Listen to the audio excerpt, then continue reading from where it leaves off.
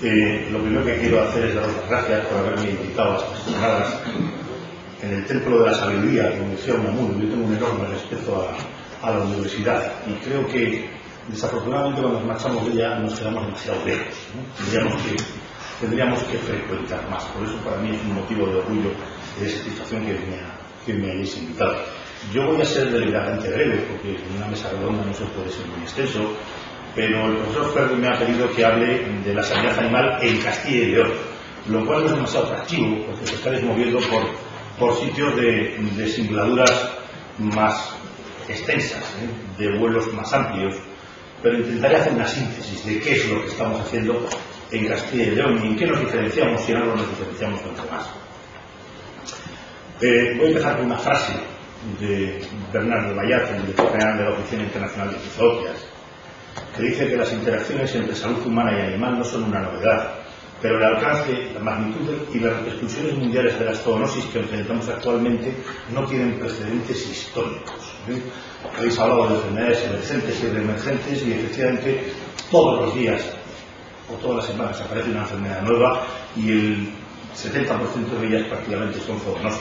Esa es una de las dimensiones importantísimas de la sanidad animal.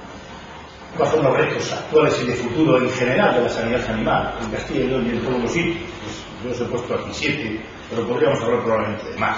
En primer lugar, las enfermedades epizooticas, lo clásico, las epidemias, las epizootias que afectan la cabaña ganadera y que tienen varias vertientes. Y la, no, una de las más importantes, comentaba yo con la prensa en la puerta, que son las barreras comerciales. Las barreras sanitarias unas veces son barreras porque sí, porque es lógico, y otras veces son excusas a las barreras. Son excusas que ponen determinados países o casi todos los países para impedir el libre comercio. Eso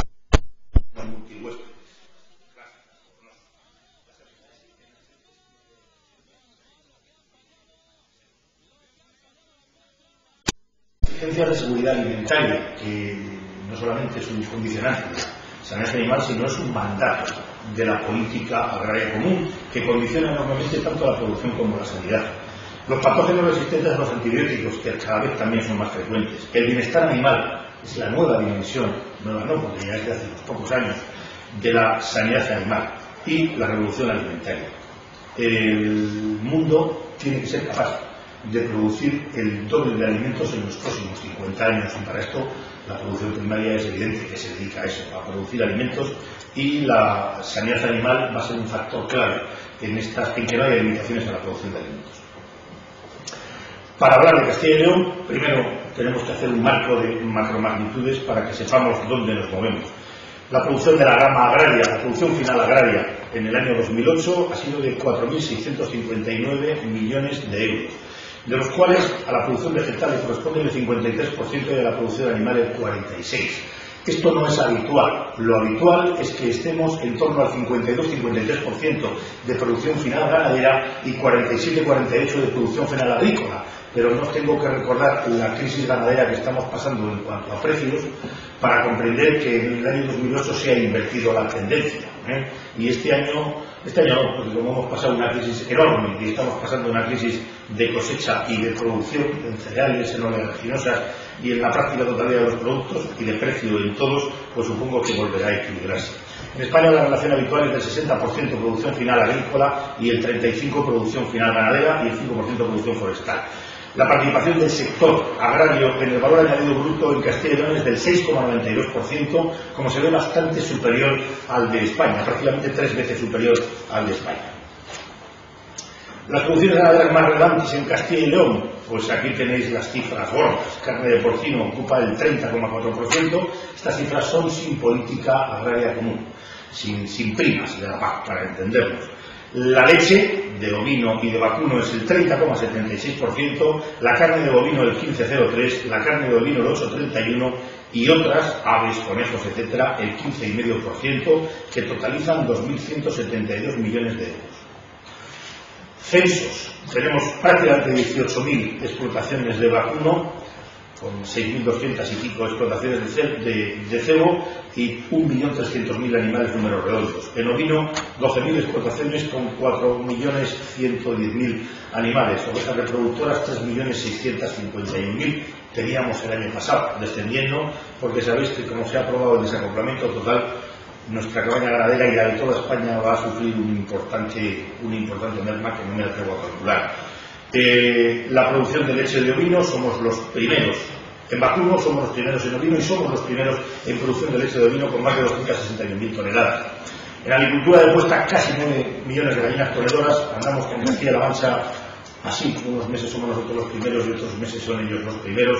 La producción de leche de vacuno somos los segundos detrás de Galicia con 878.000 toneladas, segunda productora nacional porcino, 8.600 explotaciones, 370.000 reproductoras, 2.100.000 y pico mil animales de cebo, somos la tercera productora nacional. En esto hemos tenido un descenso considerable entre el 2007 y el 2008, hemos bajado aproximadamente el 7%. Eh, esto en cuanto al marco de lo que es Castilla y León. ¿Cuáles son las dimensiones actuales, se me ocurre a mí, de la sanidad animal? Pero los retos de la sanidad animal, desde luego, tienen que responder a las dimensiones, a las diversas facetas que tiene en este momento. Ya, como decía, dejó de ser simplemente un condicionante de la producción para ser mucho más allá. Pues mm, yo lo, resumo en cuatro factores. En primer lugar, lo clásico, como decíamos, de condicionar las producciones ganaderas por las pérdidas directas en las explotaciones afectadas. En segundo lugar, el determinante en los intercambios comerciales. Existen desde que estamos en, Europa, para bien, indudablemente, aunque algunos ganaderos piensen que es para mal, eh, las barreras sanitarias que existen y muchas veces son barreras comerciales.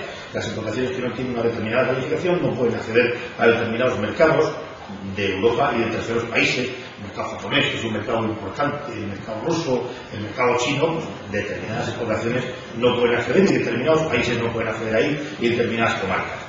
En tercer lugar, y seguramente la más importante por su relación con el hombre, su relevante papel en la salud pública. A mí siempre me ha gustado decir que no hay salud pública sin sanidad animal, no es mío desde luego, es un bioconjurismo que yo he oído a mis mayores. Es relevante en la salud pública por dos facetas. Primero, la zoonosis, las enfermedades comunes al hombre y a los animales. Y en segundo lugar, por la seguridad alimentaria. Otro de los importantes mandatos de la política agraria común es el que la producción primaria sea capaz de abastecer a toda la población europea de alimentos sanos, seguros y de calidad. Y ahí, desde luego, juega un papel importantísimo la sanidad animal. Y por último, los procesos de producción ganadera ajustados al bienestar animal y el respeto al medio ambiente, que esto también es sanidad. El bienestar es sanidad y el respeto al medio ambiente es sanidad ambiental, de alguna forma. Los retos, por consiguiente, tienen que responder a todo eso cuál es la organización y las herramientas que tenemos en Castilla y León en materia de sanidad animal. Lo que de alguna forma puede ser novedosa, que no tienen o que nosotros hemos sido pioneros entre todas las comunidades autónomas. Pues en primer lugar, una red de vigilancia epidemiológica de la que nos dotamos hace mucho tiempo, de la que derivan muchas cosas, entre otras cosas, la red de nuestros laboratorios. Tenemos uno en cada provincia, todos, a excepción del de Valladolid, remozados entre el año 2001 y el año 2007. El último que hemos inaugurado ha sido el de León, que es la joya de la corona. Yo lo considero y, os invito a que aquí lo visitéis. Es una lástima que acaben las jornadas hoy, porque es un edificio, yo creo que magnífico, mm, dotado con, con visión de futuro. Supongo que ahí podremos estar trabajando los próximos 50 años y además arquitectónicamente brillante. Eh, los planes de contingencia, como los que hablaremos un poco después. Tenemos un sistema de alerta sanitaria localizada que yo creo que no existe, por lo menos no existía cuando se montó en ninguna comunidad autónoma. Los servicios veterinarios oficiales, que eso evidentemente son comunes a todo el mundo. Y en cuanto a apoyo legal, fuimos pioneros en dotarnos de una ley y un reglamento de sanidad animal de Castilla y León en el año 1994, bastante anterior al Ministerio y que ha sido una herramienta, desde luego, importantísima a la hora de organizar todos los trabajos de sanidad.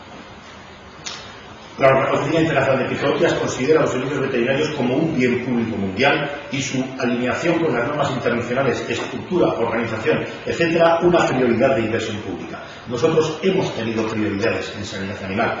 Dedicamos todos los años a la sanidad animal en números redondos 30 millones de euros, que es una cifra, yo creo que acorde a nuestra dimensión y acorde a nuestra extensión y acorde a nuestros censos.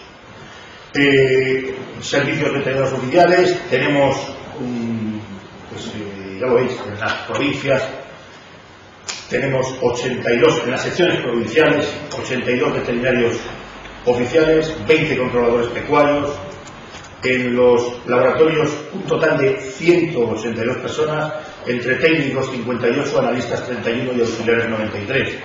Y en las unidades veterinarias, de las cuales tenemos 102, entre veterinarios oficiales, que son 309, y controladores pecuarios 26, pues suman 335, como podéis ver, y además en campaña de saneamiento una empresa contratada que tiene 210 veterinarios. De tal forma que damos importancia a la distribución en el territorio, a estar cerca de los ganaderos y a atender todas las necesidades de los sitios más remotos, porque nuestra comunidad autónoma es lo suficientemente grande como para intentar, y yo creo que conseguir atender todas las necesidades. La Ley de Sanidad Animal de Castilla y León decía que fue pionera en el ordenamiento nacional, es del año 1994, el reglamento es de 1998 y otra herramienta legal es un decreto por el que se regula el sistema de alerta sanitaria en materia de sanidad animal. Esto surgió porque cuando empezó la encefalopatía salían dramas en la televisión, los paisanos a los que se les moría una vaca y decían, y usted, y llevamos esperando que vengan los veterinarios cuatro días y aquí no viene nadie, y entonces al, al consejero José Balín se le ocurrió montar este sistema de alerta sanitaria de tal forma que tenemos todas estas demarcaciones, 43 demarcaciones que están atendidas por un teléfono móvil las 24 horas, 12 horas al día, hasta por la noche y los fines de semana las 24 horas para atender todo tipo de consultas relacionadas con epizootias o con zoonosis o con cualquier tipo de alerta sanitaria. Esta es una herramienta que nos cuesta mucho dinero, desde luego, en torno a 100 millones de pesos al año, pero de la que estamos muy orgullosos porque creemos que la gente está mejor atendida. La red de vigilancia epidemiológica, que decía que es otra de nuestras herramientas importantes, está formada por la red de vigilancia, bases de datos, registros y los laboratorios de sanidad animal, el laboratorio regional y los laboratorios provinciales. El sistema de alerta sanitaria, este es el funcionamiento, es, un, es esquema que no va a ninguna parte. Y los planes de contingencia que deben estar incluidos dentro de la red de alerta sanitaria eh, la normativa europea exige la elaboración por sus Estados miembros de planes de contingencia para las enfermedades de las que se llama lista A, fieles a los dictados de la Oficina Internacional de Epizootias. Eh, tenemos planes de contingencia adaptados a Castilla y León que se basan en, análisis de riesgo y tenemos además unos simulacros online que todos nuestros veterinarios realizan. Fuimos los primeros, yo creo que tuvimos estos planes de contingencia. Tenemos modelos mmm, predictivos a base de análisis de riesgo. Los planes de contingencia cuentan con estudios específicos de análisis de riesgos y modelos de predicción de comportamientos de las enfermedades. Unos modelos dinámicos que, en función de los censos y de otros datos que se, se introducen, podemos predecir el movimiento de una peste porcina clásica, por ejemplo, y hacia dónde se va a extender el virus o de cualquier otro tipo de enfermedad. No, desde luego, las que se transmiten por mosquitos, porque ya son absolutamente incontrolables, como se ha demostrado absolutamente impredecibles, más que incontrolables, porque controladas están, están controladas. Los, aspectos contemplados en los modelos productivos como predictivos son la localización de explotaciones, los censos, el movimiento pecuario, las medidas sanitarias, los accidentes geográficos, las vías de comunicación y los aspectos meteorológicos. Son una interesante herramienta a la hora de establecer estrategias de control eficaces o medidas de erradicación ponderadas. Eh, como decía, dentro de los planes de contingencia existen simulacros digitales. Podemos asegurar que los técnicos implicados en la ejecución y toma de decisiones en el hipotético caso de una emergencia real pueden formarse y adiestrarse de la mejor forma para afrontar una situación de alerta relacionada con la aparición de una enfermedad relevante en nuestra cabaña ganadera. Empezamos con los planes de contingencia a partir de la alarma que hubo de, de influenza aviar con Rogelio del sudeste asiático, fue el primer plan de contingencia que elaboramos y el primer modelo predictivo y los primeros simulacros virtuales para que todos los técnicos de las unidades veterinarias hicieran esos ejercicios virtuales y supieran cómo comportarse en el momento de una alerta. De, el sistema de información geográfica, estas son las delimitaciones de zona, pertenece a todos los planes de contingencia, que es una herramienta que, como os decía, estamos muy orgullosos de ella. Esto es un, una, uno de los ejemplos, en el momento que se localiza un foco, por el sistema de información geográfica se averiguan los censos, número de explotaciones y número de cabezas. En la zona de, crítica de 3 kilómetros, en la zona de 10 kilómetros, en función de la, de la enfermedad que sea. Papel de la sanidad animal. Es claro, como decía, la comercialización ganadera y garante de la salud pública. ¿Qué es lo que estamos haciendo con respecto a eso? Bueno, pues lo que nos manda la legislación. ¿eh? Eh, nuestras actuaciones son de tres tipos. En primer lugar, campaña de saneamiento ganadero. En segundo lugar, programas oficiales de control y erradicación, de los cuales existen en la actualidad cuatro. Enfermedad de salmonelosis, lengua azul y rabia. Y otros programas, parte de ellos eh, dedicados y ejecutados por las agrupaciones de defensa sanitaria, programa de vigilancia epidemiológica en fauna silvestre y programa de influenza aviar. Datos. Bueno, pues aquí os doy unos datos de nuestras campañas de saneamiento. Brucelosis bovina, el año pasado cerramos la campaña con un 0,99%. Es algo, aunque es una cifra que a algunos les puede parecer exagerada, es algo de lo que estamos orgullosos porque supongo que todos habéis tenido noticias de los problemas que hemos tenido en, en muchas partes de la comunidad, especialmente en Salamanca, con el ganado extensivo con la brucelosis. En Salamanca empezamos con un plan especial en el año 2005 y desde 2005 hasta ahora hemos conseguido reducir la prevalencia de la enfermedad de un 7,60% aproximadamente a un 1,46% en el plazo de tres años. Le digo que estamos especialmente orgullosos. En Segovia vamos a empezar con el mismo plan especial porque tenemos dos unidades veterinarias en las que se nos está disparando. En el resto de las provincias, pues estamos prácticamente en niveles de erradicación. Tenemos tres o cuatro provincias donde tenemos cero positivo. Tratándose de una comunidad tan grande, tan dispersa y de un ganado mm, eh, extensivo, pues bueno, es especialmente difícil luchar contra las enfermedades y por eso estamos orgullosos. En tuberculosis, de esto no podemos presumir tanto, pero estamos en un 3,63% y hemos bajado considerablemente también, casi un 20% con respecto a la prevalencia del año 2007. También tenemos problemas en Segovia y el resto de los sitios estamos descendiendo. Empezamos a aplicar un programa de diagnóstico con gamma interferón hace tres años aproximadamente. Estamos muy contentos con los resultados de tal forma que los datos que tenemos este año son que hemos descendido aproximadamente en un 40% la prevalencia de tuberculosis desde 2007 a 2008. Brucelosis ovina, esto también es especialmente complicado, como decía, somos la cabaña más grande de España y muy dispersa y todavía un porcentaje importante en extensivo. Y en la brucelosis además se complica por el problema del diagnóstico porque la sensibilidad y la especificidad de las pruebas diagnósticas no son como las de la brucelosis bovina.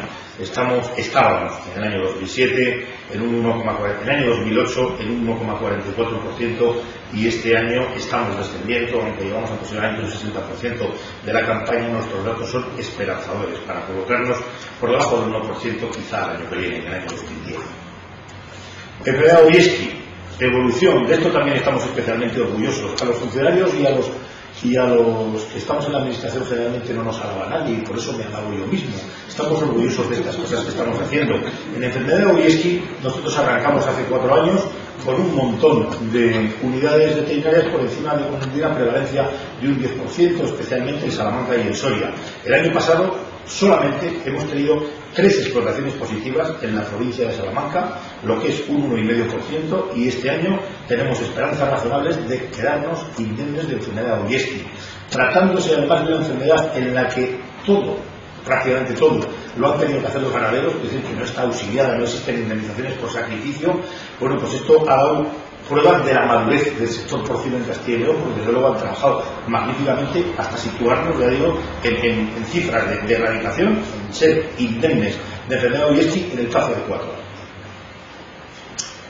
Esta era nuestra evolución. Empezamos en el año 2004 con un 8,08%, bajamos considerablemente en el 2006 y en el 2008 estamos en un 0,17%, ya digo, tres explotaciones positivas.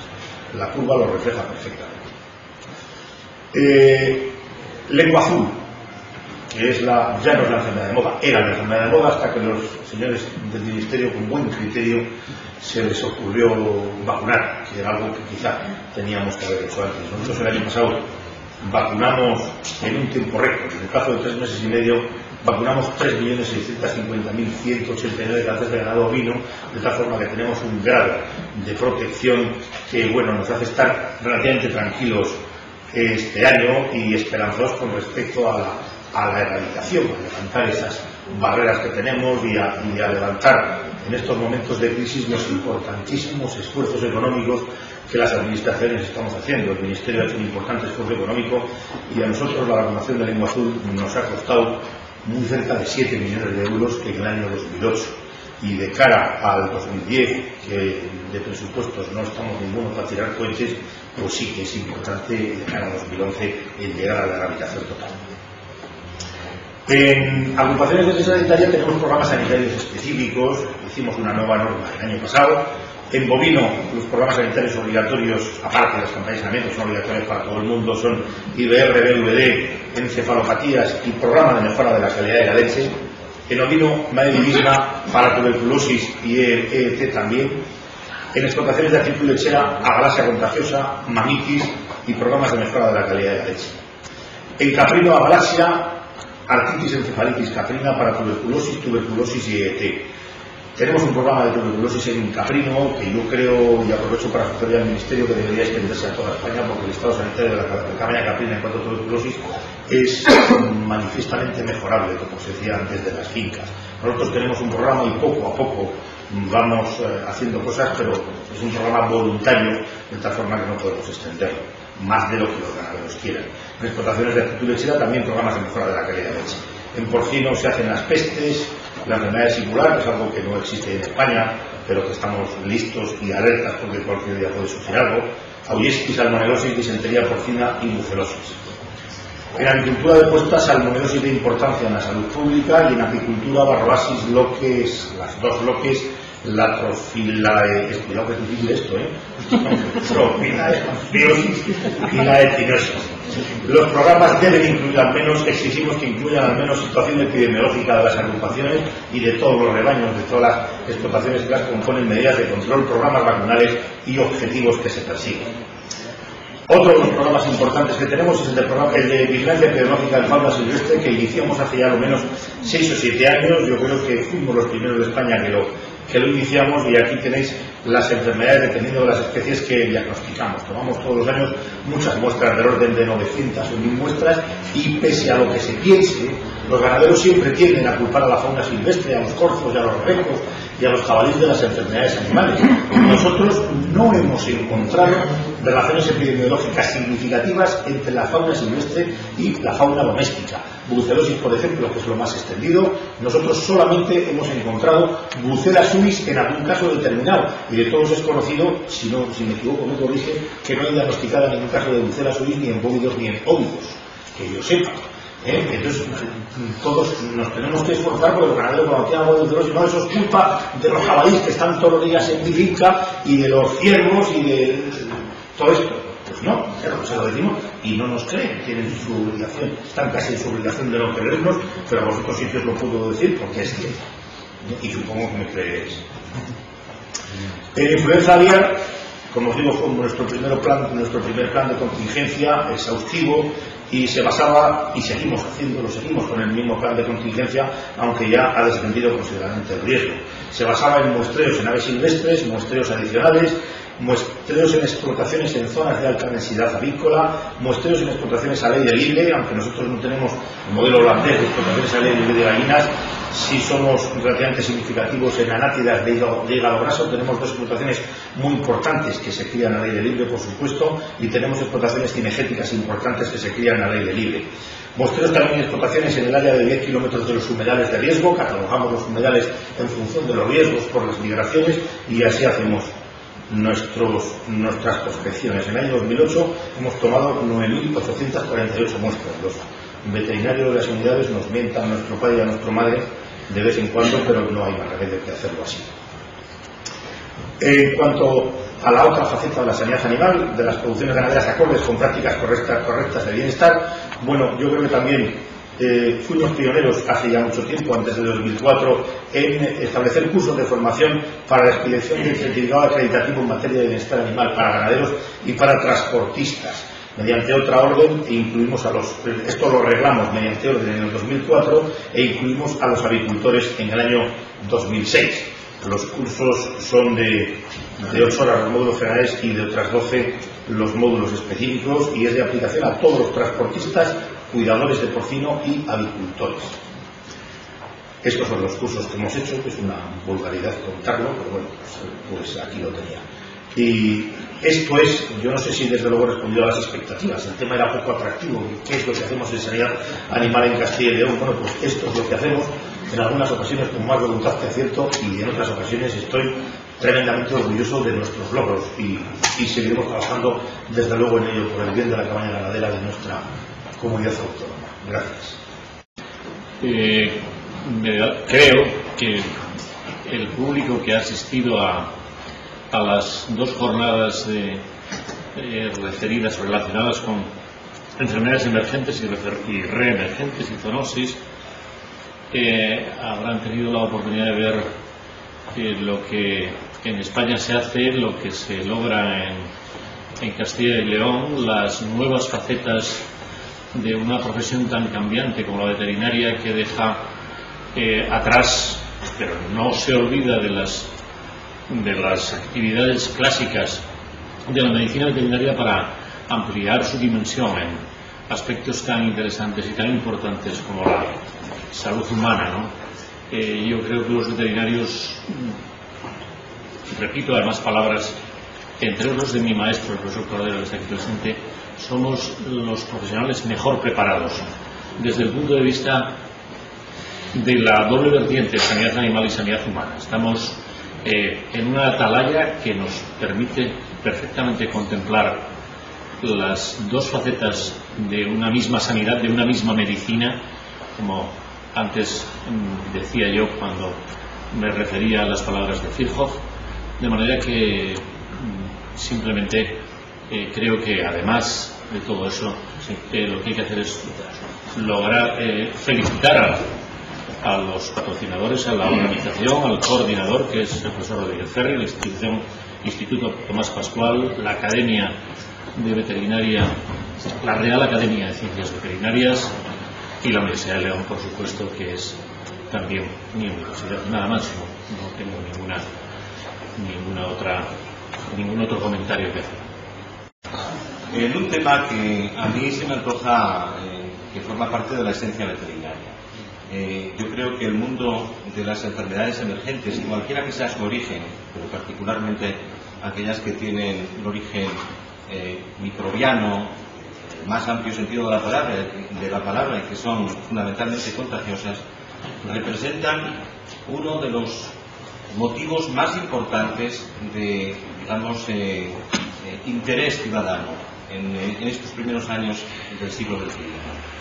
Si yo tuviera que resumir pues, prácticamente en un par de frases eh, la esencia de todo lo que estamos oyendo en estos días, lo que hemos estado oyendo a lo largo de la tarde de ayer y la de hoy, eh, es que naturalmente estas enfermedades no constituyen un castigo digno, sino que son algo que de una forma u otra siempre han existido y con toda seguridad seguirán existiendo. Eh, son omnipotentes y omnipresentes, pero son controlables y esa es la gran esperanza. Y lo son fundamentalmente en relación con unas técnicas y técnicos desarrollados a lo largo de muchos años, de los que nosotros somos principales beneficiarios, en las que, bueno, pues eh, el papel de la profesión veterinaria, como acaba de señalar el profesor Rojo, está en el centro de la diana.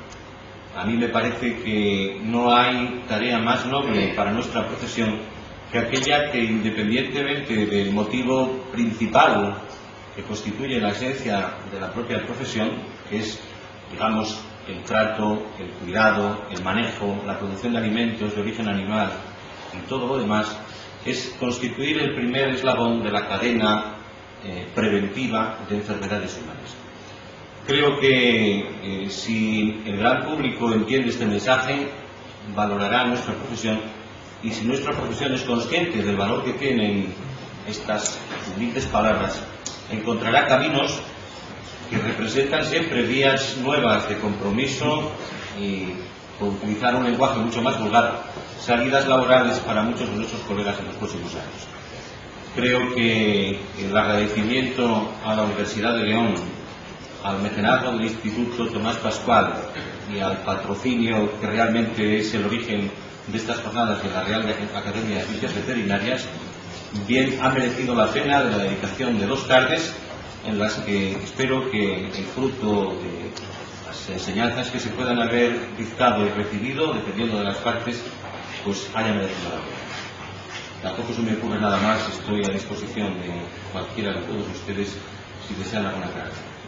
Yo creo que eh, ha quedado eh, claro mm, que a mí me parece que somos en este momento un país preparado para abordar eh, cualquier alerta sanitaria, cualquier alarma sanitaria que, se plantee, que, nos entre, que cualquier patógeno que nos pueda hacer volver locos como en otras ocasiones, pero yo creo que, en este momento estamos realmente preparados, como lo decía eh, al inicio de mi charla. Yo creo que las estructuras veterinarias en España, tanto de servicios oficiales como servicios privados, eh, están perfectamente, son perfectamente homologables con los servicios europeos. Yo tengo claro, que lo decía antes, y no me parece que sea una pedantería, pero como decía Aurelio, que si no nos lo decimos nosotros, no nos lo dice nadie, pues yo creo que los servicios veterinarios, y no estoy hablando solo de los oficiales, los servicios veterinarios en España a nivel de explotación, a nivel de estructuras sanitarias, como pueden ser las agrupaciones de defensa sanitaria, cooperativas con sus equipos de veterinarios, veterinarios del campo, y los que trabajamos desde la administración, empresas ya grandes que se dedican al tema de sanidad animal, estamos absolutamente a un nivel altísimo dentro de Europa. Yo, si de algo me alegro de haber dado el salto a Madrid, es conocer un poco cuál es la situación en otros países europeos y en ese sentido quiero decir que si de alguna manera de aquí partíamos de ciertos complejos de, cómo de la formación de los veterinarios en Europa y que pues yo creo que esos complejos nos los tenemos que quitar. El complejo ese de que los veterinarios de, la administración somos unos plumíferos y que solamente mueven papeles no es verdad no es verdad y desde luego yo creo que en ese sentido eh, hemos evolucionado y hemos cambiado mucho. Yo sí creo que es importante, y con esto acabo, profundizar más en las relaciones eh, eh, en toda la cadena de producción, desde el ganadero, el veterinario de campo y, la administración. Yo creo que ahí hemos avanzado mucho, el cambio ha sido notabilísimo en los últimos años, pero creo que ahí todavía tenemos asignaturas pendientes de relación entre los distintos sectores que nos dedicamos a erradicar y a controlar enfermedades. Yo creo que para establecer un posible tema de debate no quisiera olvidarme tampoco de la universidad, por supuesto, ¿eh? con la que yo creo que cada vez trabajamos más desde todas las administraciones, desde los servicios y desde las direcciones generales con los distintos departamentos de la universidad. Yo creo que ese es un punto en el que sí, los que estamos y tenemos ciertas responsabilidades en estos campos, yo creo que ahí todavía tenemos que profundizar más y todavía ahí tenemos que eh, establecer unas relaciones más íntimas y realmente establecer una confianza eh, en las relaciones y en la, mirada la mirada distinta a los mismos problemas que yo creo que es ahí donde todavía tenemos como os digo, esta asignatura pendiente y que tenemos, aunque se ha mejorado mucho, tenemos que reforzar este tipo de relaciones. Evidentemente me toca hacer referencia a la seguridad alimentaria. y en ese sentido le agradezco mucho a Dirio pues, la, referencia tan neta y tan clara que ha hecho dentro de las prioridades eh, dentro de las prioridades de la administración, puesto que la seguridad alimentaria efectivamente es un, es un mandato, ¿no? el nuevo marco de la, legislación alimentaria. Yo, en este sentido, recordando un poco los puntos más importantes que hemos comentado ayer, es que eh, parece bastante evidente que uno de los principales factores de emergencia de, enfermedades en el, motivo de estas jornadas es la alimentación por un hecho evidente y de sentido común, y es que todos estamos obligados a comer todos los días y por lo tanto los peligros que se introduzcan en la cadena alimentaria van a acabar en el estómago grave. Eso es, eso es evidente. desde el punto de enfoque que hacemos nosotros en nuestra empresa, pues eh, nuestros análisis de peligro, pues evidentemente consideramos los peligros pueden venir puestos con los ingredientes que metemos en los alimentos o los podemos meter nosotros en nuestros procesos, en nuestras empresas y dentro de los ingredientes, pues los ingredientes pueden venir de otra empresa pueden ser directamente dentro de la gestión agropecuaria, del funcionamiento de la compañía. Y ahí, pues, eh, evidentemente pues hay cosas que nos preocupan. Quizás más las clásicas que las emergentes, en el tema, en el tema de, esto. Nos sigue preocupando, aunque se ha hecho un trabajo tremendo en el tema de las salmonelosis, pero en el caso concreto de nuestra actividad, pues es, un riesgo evidente que nos tiene, nos tiene al tanto eh, diariamente, pero sí pensamos efectivamente que, eh, por lo que comentaba antes Lucio, haciendo referencia a esa frase de, de, tan, tan, aplicable a las crisis alimentarias, que lo importante en una crisis alimentaria no es lo que verdaderamente ocurre, sino lo que la gente cree ocurrir. El 70% de las crisis alimentarias son percibidas, o sea, no tienen ningún, ningún, eh, soporte. Y hemos vivido en carne propia y, tratado de aprender también en carne ajena cómo eh, la comunicación ahí es tremendamente importante, es tremendamente importante y puede hacer variar en el curso de unas horas el tener un, impacto económico, económico gravísimo sobre, un sector aquí el tema se gestione, se gestione adecuadamente.